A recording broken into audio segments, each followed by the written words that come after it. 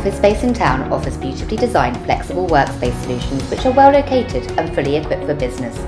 Their buildings are refurbished to the highest standard, led by an experienced design team to create stimulating working environments for organisations of all sizes. Developments Director Simon Eastlake tells us more about the business from the design process through to the innovations they use to support well-being. What's special about your office spaces?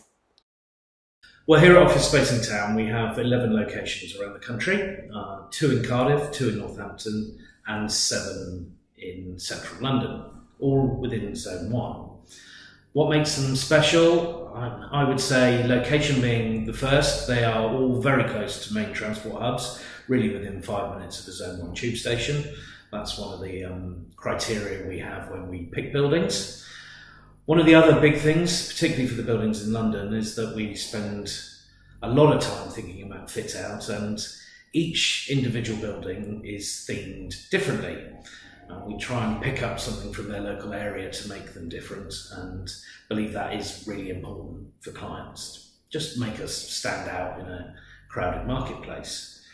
What also makes us special, I think, is the the space we give for clients. So we own our buildings, which does enable us to allow um, more space for common areas. We also give more space for individuals within their office. So on average, we're a minimum of 50 square feet per person within office space. And across the entire building, we tend to be about 65% office space, 35% communal area. And now this allows us to um, give great communal space for clients and also set aside some um, great space for meeting rooms and we have a, a very um, thriving meeting room and conferencing business.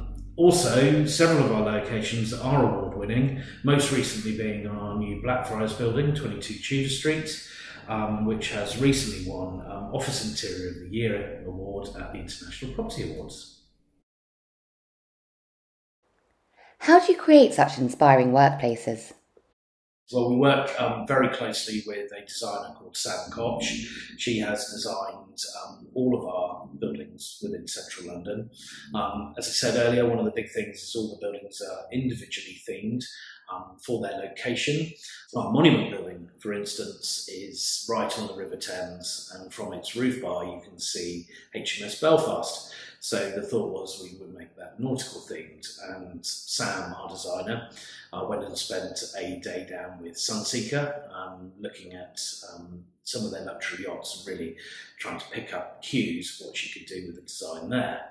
And we have various meeting rooms called the Hull and the Keel and the cabin. We also have hotel rooms over there, which are called the cabins as well. So um, we have then the deck on the roof, which is our, our bar, and, and it overlooks the Thames, as I said earlier. So that's great. And we have our Waterloo building, which um, is actually in the old hatting district of London. And uh, the word mad as a hatter uh, came from when people worked in the hatting industry, and that's where the Alice in Wonderland theme came from. Also inspiring, um, it's not just the design of our buildings, it's also our staff. Um, culture and ethos, we are a service industry, uh, a service business after all, so we do spend a lot of time developing the culture with our staff and ethos. We're very much a family business and we did win Family Business of the Year last year. Um, it is most important that the clients are looked after and we can give them great design spaces, but if things don't work and the staff aren't great, then ultimately they will leave. So we do spend a lot of time developing and make sure our staff really do look after our clients. How do people react to the spaces?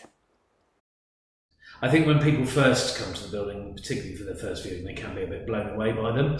We are very different to anything else is there is out there. Some people don't always like it, but not everything is for everyone. I would say what we do within our buildings and the design and everything like that, it's when a client first comes in and they're looking at moving in, um, they can see the benefits of what we do um, for attraction of talent for themselves.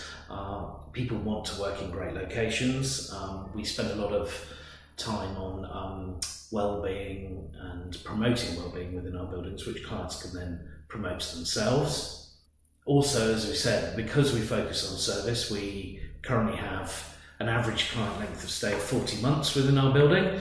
So clients don't leave, they stay with us for a long time. Um, we've got clients from two to 70 people across the across the portfolio. Some of those guys have actually been with us longer, and our, our biggest client started off with six in our monument building, and they're now in our lovely Blackfriars building.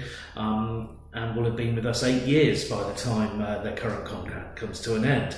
So that's fantastic. Um, when we look back at our feedback online, um, we have hundreds of five-star Google reviews, so proves the staff are doing something right. Um, and over overall, I think the client satisfaction is excellent, and they really do give us very, very positive feedback, which is great. What features do you use to support well-being in the workplace? Well, as developments director, I'm particularly interested in well-being and wellness. Certainly, over the last few years, that has very much come to the forefront, and I've been um, really pushing and looking at what we can do to improve that across all of our buildings and have certainly put some new stuff into our most recent building in Blackfriars as well. So, really starting back at the design stage, um, one of the big parts is giving people more space, as I said earlier. Uh, if on average we give a minimum of 50 or 45 to 50 square feet per person, um, probably 99% of our offices have natural light, and that's what we always aim to provide also across the portfolio, every room we have is individually air conditioned, so a client has control over their um, their own office's temperature. Um, and one of the other big things we've always done is invest a lot in soundproofing in rooms as well. It's a big part of well-being when you're when you're sat at sat at work. On top of that, um, particularly in our newest building, I've installed started installing um, different wellness technologies, one of them being dynamic glass in all of the windows, and the windows do away with blinds and, tint automatically depending on where the sun is, so there is always natural light within rooms. It's very interesting, we were the first installation of that within the UK. It um, comes from a company called View, based in America. And that's quite an exciting uh, product we have here. Also, across the group, um, um, we are starting to look at rolling out sit-stand desks and have those as standard in our Blackfriars buildings, we're starting to promote them elsewhere. We do have a feeling that that will become more and more the norm in the future. Um, and one of the other big things that we do across the group is promote fitness classes. So we, we do yoga, we have MobFit come in and do a variety of boxing classes, um, circuit classes, um, massage, etc.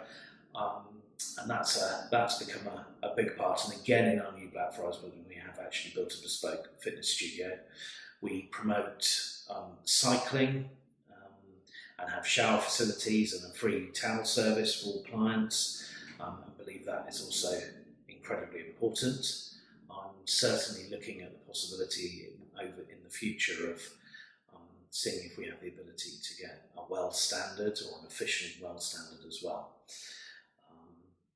one of the uh, big part of the buildings as well is um, if we can, we have and do provide outside spaces. So that is uh, natural, natural air and natural light is a, big, is a big part.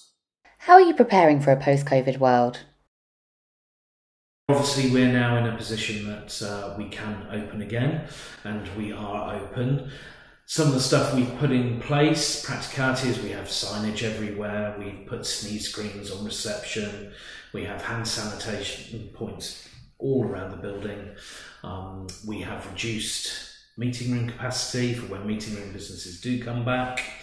Um, and one of the other big things that I was particularly passionate about because we have a well, as a company, we're quite passionate about environmental issues. I was particularly worried about the Perspex screen boom uh, because in three months' time, or four months' time, or whenever it is, they will all just end up in landfill, and then there'll be a lot of plastic out there, which we were all trying to reduce beforehand. So one of the big things we found here is um, I found a supplier that provides cardboard screens for desks.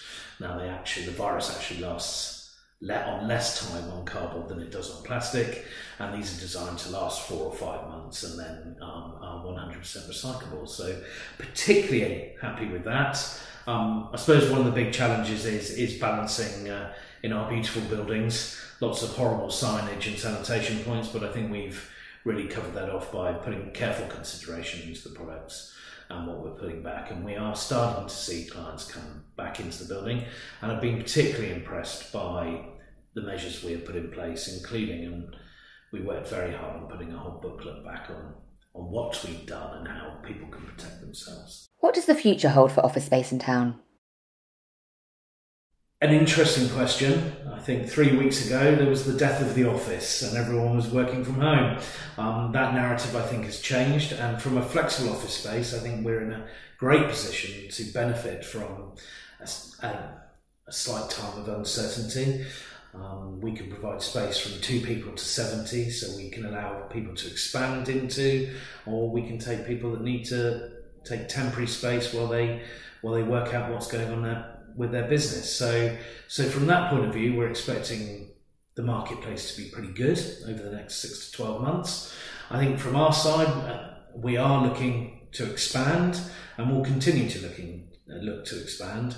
So we are really um, currently looking at buildings to purchase in central London um, and we will continue to do that. We're really looking for buildings from 30,000 square feet to 100,000 square feet. So although it has been uncertain um, and we have lost some clients, we are also still uh, gaining new clients now and certainly see there being a very positive future for the flexible, um, flexible office industry.